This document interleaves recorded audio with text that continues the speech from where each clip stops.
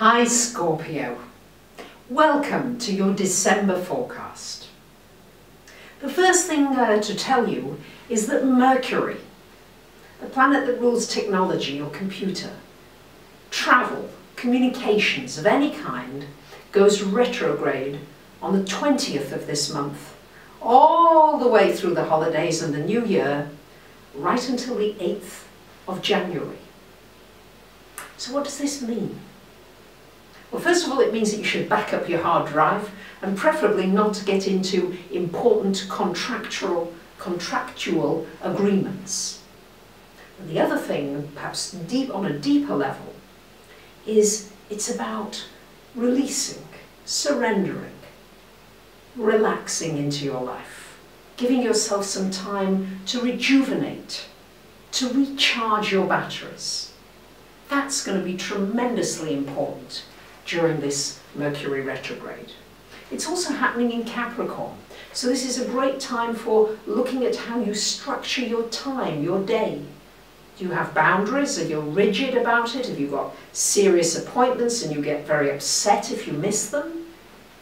Or are you rather formless and have no kind of schedule at all and maybe need to introduce some kind of focus for yourself in order to feel productive? These are just questions to think about during Mercury retrograde. Let me break it down for you. On the 8th of the month, we've got Venus coming to join Mars here in your fourth house. This is a lovely aspect. It could bring some peace and harmony in a family situation or people who are very close to you. It could bring things into an easier communication. Things get easier you see one another's point of view. You bring a little more balance into the equation. It could be you deciding that you're going to ask for some help instead of doing everything. Hmm?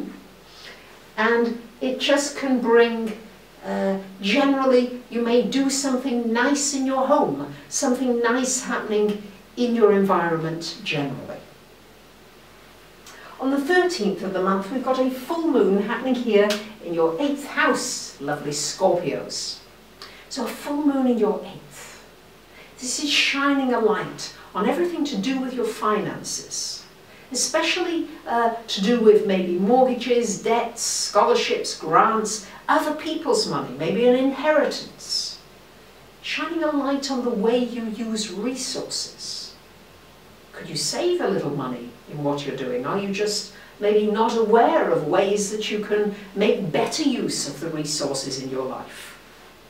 Shining a light on intimacy. Are you allowing people really to get close to you? Or are you keeping them at arm's length? Are you feeling lonely? Feeling as though you're not connecting with people?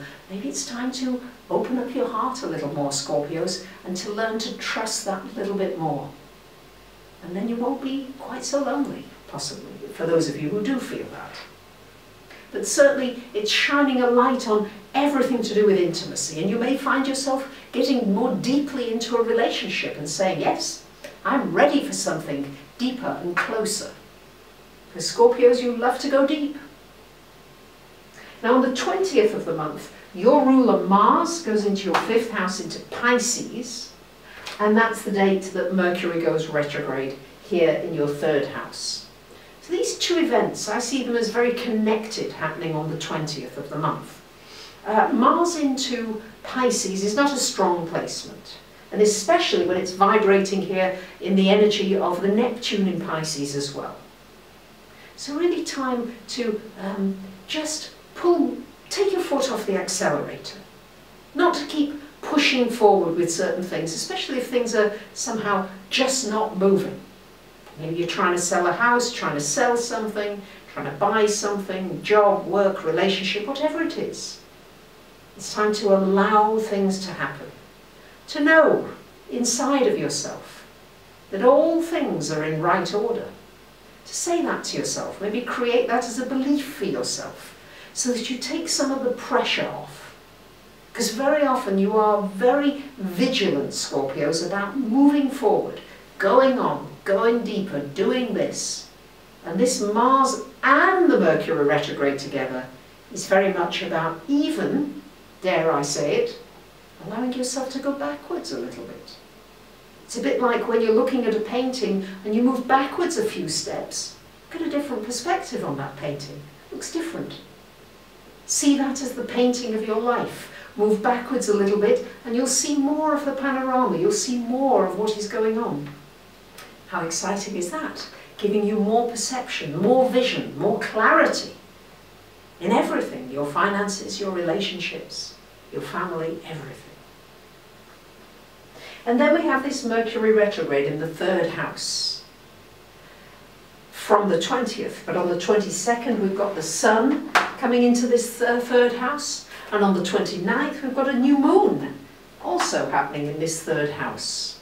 So a lot of focus this last couple of weeks of the month, all in this third house, which is all to do with your thinking patterns, your beliefs, what you believe is possible. Gosh, if there's one sign that can bring about the impossible and make it possible, it's Scorpio because you're relentless. Yes, you are one of the signs, to, I feel, the sign that can turn really base metal into gold. And here it's about renewing your belief systems. What do you believe you can do?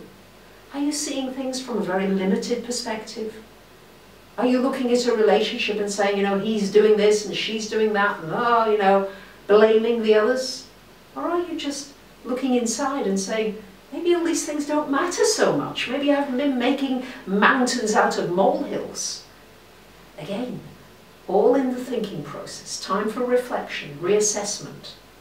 Great time for writing, for blogging. You see, because the mind processes are slower, so you can really get things out that maybe have been percolating in you for a long, long time. And you may find that your environment changes. Some new people come in. Some new people in your neighbourhood. You might even move neighbourhood, change. So an opportunity as well for making some short trips. And I'm just going to say leave plenty of time with the Mercury retrograde, just in case things don't quite turn out as you had hoped. So there you have it, my lovely Scorpios. Remember that Mars and Neptune together are great for creative endeavours. Anything that involves really getting into the zone, where you just lose track of time and space. It'd be wonderful to do that with that Mars-Neptune aspect. You might come up with a business idea. You might move an existing business on to a new level. And you might find a new hobby, something that you really enjoy doing. For me, I'm going to take up the drums in the new year I've really always wanted to do that, I'm going to do it. What are you going to do for your new year? Thank you to so many of you who, co who comment, share, subscribe, write to me. I do appreciate you very, very much. Don't forget to watch my 2017-18 video if you haven't already found it. And I wish you a wonderful December and a very, very happy new year ahead.